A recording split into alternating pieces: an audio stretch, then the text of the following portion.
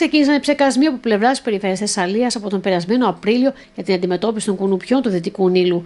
Ενώ όταν εντοπιστούν γίνεται η σχετική χνηλάτιση, όπως εξηγεί ο αρμόδιος αντιπεριφερειάρχης κ. Πινακάς. Όπως κάθε χρόνο, έτσι και φέτος, η περιφέρεια Θεσσαλίας, σε συνεργασία με τους ε, Δήμους, έχει μεριμνήσει για την πρόληψη για τον ιό του Δυτικού Νείλου. Ήδη έχουν ξεκινήσει οι ψεκασμοί από τις ε, αρχές ε, Απριλίου. Γίνεται η χνηλάτηση και καταγραφής στις περιοχές ε, που εμφανίζονται τα κουνούπια που μεταφέρουν τον ιό του Δυτικού Νείλου.